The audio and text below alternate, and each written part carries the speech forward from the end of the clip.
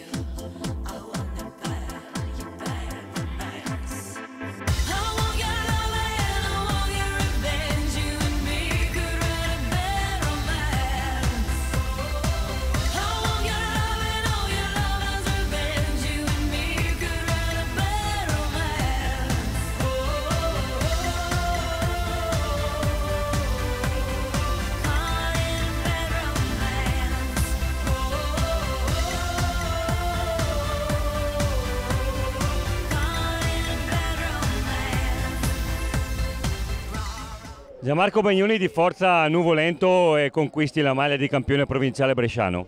Sì, oggi è stata una corsa molto tirata, tanti scatti, i miei compagni hanno lavorato alla grande. L'ultimo giro sono riusciti a fare un'andatura buona e dopo la volata penso di averli ricompensati di tutto il loro lavoro.